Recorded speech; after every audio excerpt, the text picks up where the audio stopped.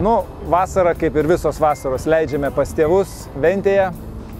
Kartu visa šeima suvažiuojame ir e, mėgaujamės e, e, tuo kraštu, plaukėme laivu, dažnai būname Nidoje, plaukėme į Marės, į Nemoną, žvejojame, maudamės. Nu, va taip.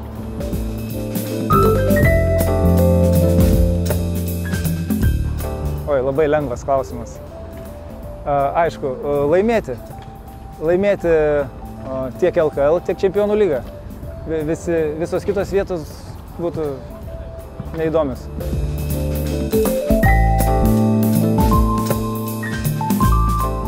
Nu, komanda yra komplektuojama, pastovi yra derinama su, su klubo direktoriu, kalbama su agentais ir žaidėjais.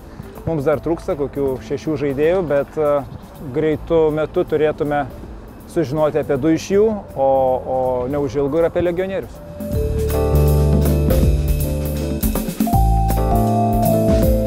Nu, aš manau, bus arba trys, arba keturi.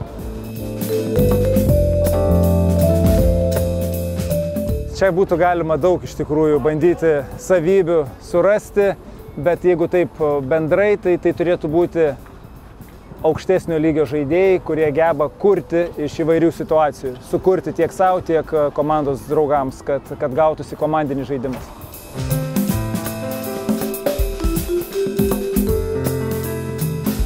O, manau, kad gali. Kokius tris, bet, bet tada reikėtų dalyvauti turnyrė 3 prieš 3.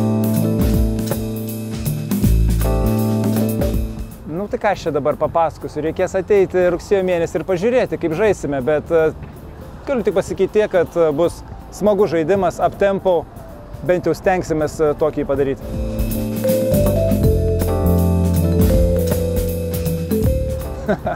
Aš labai nemėgstu kritikos, bet pastoviai jos gaunu, mano kritikas numeris vienas yra mano tėvas, bet jisai žino, kada neskambinti.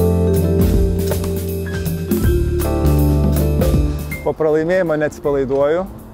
Geriausias būdas e, atsistatyti po pralaimėjimo ir laimėti sekančias rungtynės, bet kad tai įvyktų, reikia iškart jau po rungtynių kimbu į darbus, žiūriu video, tai sau, kas buvo blogai, ruošiuosi sekančiam rungtynėm, vienu žodžiu, visiškai nėra laiko liūdėti. Tai nėra tos kraužaties, kuri galbūt būna arba būdavo man kaip žaidėjui, kur, kur naktį gali sauliais pagalvoti ir pa, pasigailėti kažko tenais, bet kaip treneris paprasčiausiai neturi tam laiko.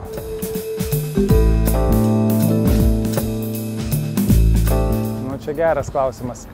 Bet aš gal apsiribosiu ties Lietuva ir paimčiau Sabonį, Marčiulionį, Jasikevičių, Karnišovą ir dar kartą Sabonį. Aš e, domiuosi įvairiais sportais, e, bet e, tokios komandos neturiu. Man patinka žiūrėti aukšto lygio futbolą, man patinka žiūrėti amerikietišką futbolą. Tikrai smagus akiai sportas, bet neturiu kažkokių favoričių komandų.